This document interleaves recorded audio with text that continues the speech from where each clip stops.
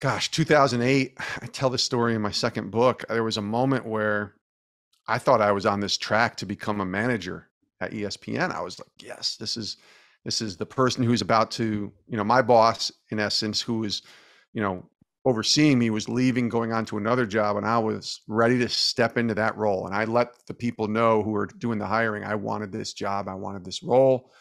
And um, right before I, w- I, I, you know, really started to focus on trying to get that job, I got a, a review um, from ESPN. Every year, ESPN does two levels of reviews.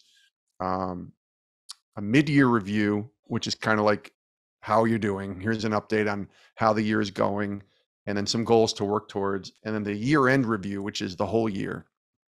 And usually there's, uh, you know, three or four different levels that they they sign you off on. It's really a weird thing. Like you feel like you're you're going on a full um, I mean, it's like being, you know, interviewed after your season's done to see how you did. And then it's like, are we going to keep you or we're we not going to keep you? They never were getting rid of us, but it was really interesting to have a mid year review and a year end review. And I remember walking into my boss's office in 2008 around May for the mid year review, and it was the worst mid year review I've ever had. Jason is not focused. Jason is not paying attention to the current job. Jason is so focused on the other jobs that he might want to go for someday that he's not currently focused on the job and the task at hand. It was pretty scathing. And I'd never received a review like that.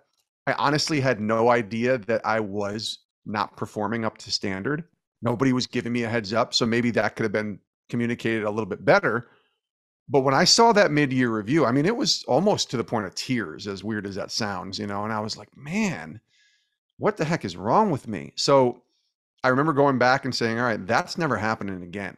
Now, I might not be the most high performing person at ESPN, but I was never going to let the work that I was doing right there each day take a back seat to something bigger that I was thinking about down the road.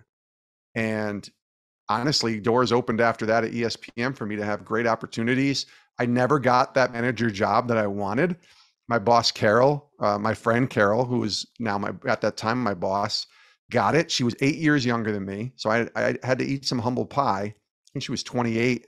No, she was 26 and I was 34. And she became suddenly my boss, but she was also the best boss I ever had. And she changed my life at ESPN because she gave me opportunities that I weren't, I wasn't getting before that. And so a bad season of life, a bad time at ESPN actually turned into a really great time um, and allowed my career to jumpstart in a different way that I wasn't expecting.